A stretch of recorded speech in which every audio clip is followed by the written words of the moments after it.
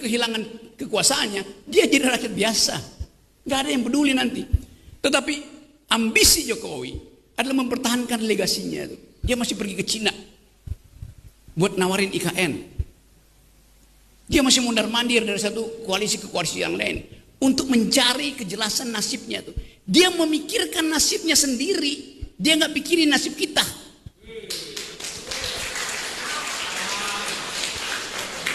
Itu bajingan yang tolol. Kalau dia bajingan pinter, dia mau terima berdebat dengan Jumhur Hidayat. Tapi bajingan tolol itu sekaligus bajingan yang pengecut. Ajaib, bajingan tapi pengecut itu.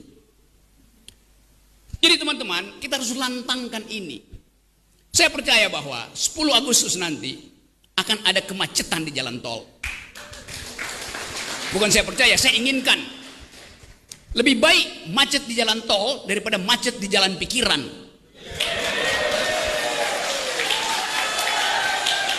Kita perlukan itu. Sejarah menunggu kita. Dan siapa yang dipanggil sejarah, dia mesti mewakafkan waktu dan tenaganya untuk memungkinkan sejarah itu menempuh jalurnya sendiri. Tidak ada perubahan tanpa gerakan. Saya bisa kasih kritik macam-macam. Tapi kekuasaan hanya berubah kalau ditandingi oleh massa. Kekuasaan selalu takut pada massa. Sejarahnya begitu, sunatullahnya begitu.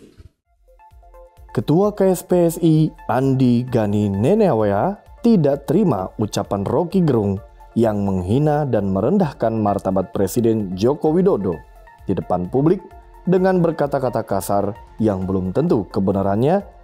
Andi menilai Rocky Gerung menyebarkan informasi bohong kepada masyarakat. Hal ini disampaikan Andi Gani usai bertemu kabar eskrim Polri Wahyu Widada di kantor Bareskrim Jakarta Selatan. Andi menjelaskan, ucapan yang dilontarkan Rocky Gerung di depan publik sebagai akademisi sangat tidak baik yang merupakan informasi bohong yang menyesatkan dan dapat menimbulkan kegaduhan di masyarakat. Tapi yang terpenting adalah saya sebagai loyalis Pak Jokowi sangat menyesalkan ucapan Rocky Gerung yang sangat tidak pantas untuk seorang akademisi. Sangat menyesalkan dan jam 15 sore ini para tokoh-tokoh relawan Jokowi akan berkumpul untuk segera menentukan sikap, segera menentukan sikap, dan juga kami mendengar teman-teman kontak dari Kalimantan, mereka juga akan membuat laporan segera hari ini dan besok. Yang pasti adalah relawan Jokowi sangat menyesalkan ucapan Rocky, Rocky Gerung yang sangat tidak menghargai martabat Pak Jokowi. Andi yakin dengan bukti-bukti yang sudah dimiliki relawan Jokowi dan profesionalitas pihak kepolisian, Rocky Gerung dapat segera ditetapkan sebagai tersangka dan ditahan. Saya melihat karena saya berlatar belakang hukum dengan konstitusi hukum yang baru saya yakin diterima, yakin diterima. Karena masalahnya kan bukan melibatkan Pak Jokowi lagi, tapi mengenai masalah pembangunan IKN itu sendiri. Yang dianggap kalau itu tidak jadi akan merugikan masyarakat Indonesia. Jadi konstitusi hukumnya seperti itu. Itu rekaman itu menyerang bahwa IKN itu tidak baik, bahwa ada investor ini itu kan apa dibawa ke Cina proyek segala macam. Sedangkan investor itu kan dari berbagai macam negara bukan hanya China. Nah penyesatan informasi itu yang nggak boleh. Kan bukan hanya China.